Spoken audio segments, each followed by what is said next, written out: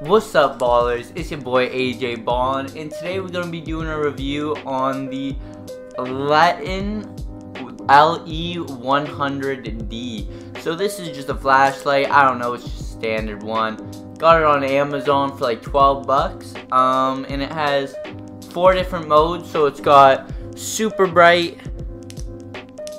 medium bright, um, strobe, and then it's got a blue light, so like a UV type black light thing, I don't know. Um, it's pretty good, sturdy, uh, takes three AAA batteries, um, so you just unscrew this part and put them in, like, like so. I don't know if you guys can see that, but sturdy, it's super bright. I wish I had to film this a little later. I'll get definitely some examples you guys can see right now going on, but just a bright, sturdy flashlight. It's got this really nice feature on it um, that you can uh, push the lens in basically, and it has up to a thousand times like zoom. So like, I don't know what that really means, but it gets really bright and you can see it from a distance basically.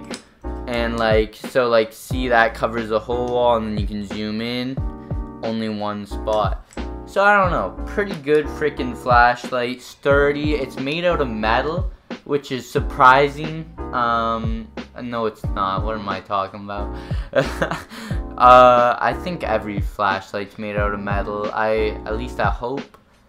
Uh, so if that's something you're looking for, this is a metal flashlight, not plastic. And uh, yeah, it's just sturdy, and I thought I'd make a video on it. My cat likes to play, like, follow it around, so I'll also get some clips of that, too. Um, because that's pretty just funny. And, uh, yeah, that's about it for this video.